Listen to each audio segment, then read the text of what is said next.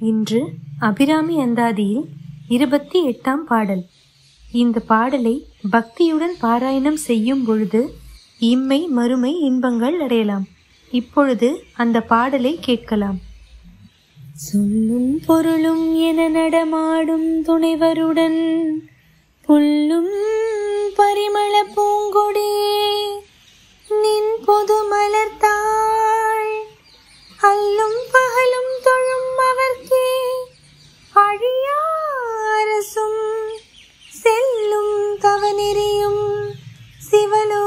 சிவலோகமும் சித்திக்குமே.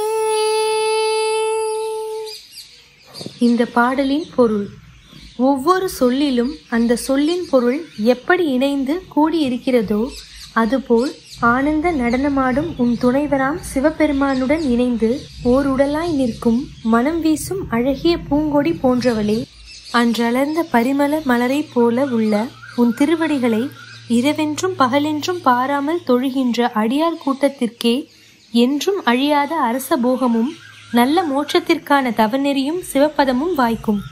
மீண்டும் பாடலை கேட்கலாம். சொல்லும் பொருளும் என நடமாடும் துணைவருடன்